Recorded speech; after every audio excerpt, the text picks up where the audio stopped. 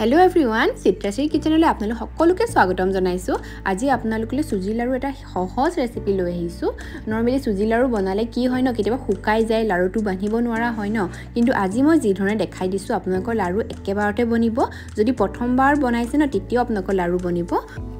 এই ৰেচিপিটোৰ কাৰণে এখন কেৰাহীত মই দুই তিনি চামুচমানৰ সমান ঘিউ গৰম কৰিছোঁ আৰু ইয়াত মই কেইটামান কাজু ভাজি লৈছোঁ। আপোনালোকে যি যি ড্ৰাই ফ্ৰুটছ ভাল পায় সকলো ইয়াত দিব পাৰে আৰু কাজুখিনি একেবাৰে ল' ফ্লেমত অকণমান সময় ভজাৰ পাছত ইয়াত মই খিচমিচ দিছোঁ। ড্ৰাই ফ্ৰুটছবোৰ যে সদায় নহয় ল' ফ্লেমত ভাজিব তেতিয়া ন তাৰ ক্ৰাঞ্চিনেছটো আহে সোনকালে ৰঙা পৰি নাহে। আৰু এইখিনি ভালদৰে ভজ খোৱাৰ পাছত মই এইখিনি কাঢ়ি থৈছোঁ।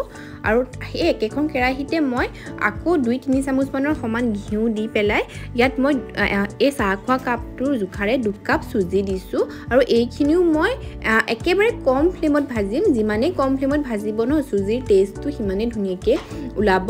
যদি বেছি ফ্লেমত ভাজে ন চুজিখিনি সোনকালে ৰঙা পৰি আহে আৰু ভিতৰৰ পৰা নিসিজে। আৰু চুজিখিনি ভাজ খোৱাৰ পাছত আগতে থকা ড্ৰাই ফ্ৰুটছখিনি যে সেইখিনিও ইয়াত মই মিক্স কৰি দিছোঁ। আৰু গেছৰ ফ্লেমটো মই অফ কৰি দিলোঁ কাৰণ বেছিকৈ ভাজি থাকিলে ক'লা পৰি আহিব। আৰু গৰম চুজিখিনি মই গৰম কেৰাহীখনত থৈ নাই দিয়া কাৰণ ক'লা পৰি আহিব চুজিখিনি। এইখিনি হৈ গ'ল চুজিৰ। তাৰ পাছৰ কামখিনি হৈছে চাচনি বনোৱা। আৰু চেনি পানীখিনিৰ কাৰণে মই একাপ চেনি লৈছোঁ আৰু সেই একেটা কাপৰ জোখাৰে নহয় একাপতকৈ অকণমান কম মই পানী লৈছোঁ। আৰু এইখিনিও কম জুইত নহয় একদম পগাই পগাই থাকিব লাগে। চাব মই জোখটো দেখুৱাই দিছোঁ কেনেকুৱা হ'ব লাগে। বেছিও ডাঠ কৰি পেলাব নালাগে বস্তুটো। জাষ্ট আঠা আঠা হ'লেই হয় এই ধৰণে আঙুলিয়ে চেক কৰিব। যদি আপোনালোকৰ আঠা আঠা নিচিনা লাগে ন এইটো দেখিছে ন আঠা আঠা নিচিনা হৈছে দুটা আঙুলিৰ মাজত। এনেকুৱা আঠা আঠা হ'লেই মানে চাচনিখিনি ধুনীয়াকৈ আমাৰ ৰেডি হৈ গৈছে। এইখিনি হৈ গ'ল। আৰু এতিয়া আমি বনাম চুজিৰ লাড়ু কিন্তু তাৰ আগত মই অকণমান চুজি বেলেগ কৰি থৈছোঁ কেলেক কৰি থৈছোঁ দেখুৱাই দিওঁ আপোনালোকক। আৰু চুজি লাড়ুটো নৰ্মেলি কি কৰে মানুহবোৰে ন গোটেই চাচনিখিনি একেলগে চুজিখিনিত মিলাই দিয়ে। মই সেইটো কৰা নাই। মই অলপ অলপকৈ চুজি আৰু অলপ অলপ চাচনি মিক্স কৰি এনেকৈ মিক্সাৰ এটা বনাই লওঁ। তেতিয়া কি হয় আপোনাক যিমানখন চাচনি লাগে সিমানকণ দিলেই হয়। যদি কমেই ন চাচনি পাছত আৰু অকণ বনাব পৰা হেৰিটো থাকে তেতিয়া। আৰু ধুনীয়াকৈ লাড়ুখিনি হৈ যায়। মোৰ ইমানখিনি চাচনি চাচনি থাকিহে গৈছিলে আচলতে। আৰু এনেকৈ বনালে ধুনীয়াকৈ লাডুখিনি বনি যায়। এইটো চব ধুনীয়াকৈ লাডুটো বনি গৈছে।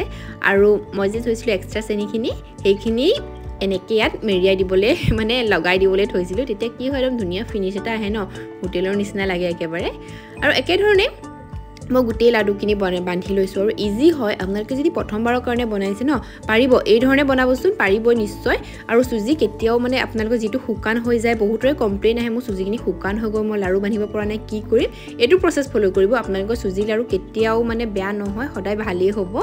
আৰু এইটো একেবাৰে লাষ্টৰ লাড়ুটো হয়। ট্ৰাই কৰি চাবচোন এই ৰেচিপিটো বহুত ভাল লাগে খাবলৈ একদম ঘিউ ধুনীয়া ধুনীয়া গোন্ধ এটা আহে। আৰু এটা কথা ক'বলৈ মই পাহৰি গৈছিলোঁ আপোনালোকে ঘিউ সলনি ৰিফাইনো ইউজ কৰিব পাৰে বা দুইটা মিক্স কৰিও বনাব পাৰে। কিন্তু ঘিউত বনালে ঘিউ ধুনীয়া গোন্ধটো আহে যে খাই বহু বিৰাট ভাল লাগে। আৰু চুজি লাড়ুটো প্ৰথমতে অকণমান কোমল হৈ থাকে দেই। এঘণ্টামানৰ পাছত সি টান হৈ যায় কাৰণ চুজিখিনিয়ে চাচনিবোৰ এবজৰ্ভ কৰিবলৈ লাগি যায় যে। আৰু এইটো চব ধুনীয়া চুজি লাড়ু। ট্ৰাই কৰি চাব এইবাৰ বিহুত যদি ট্ৰাই কৰে জনাব মোক।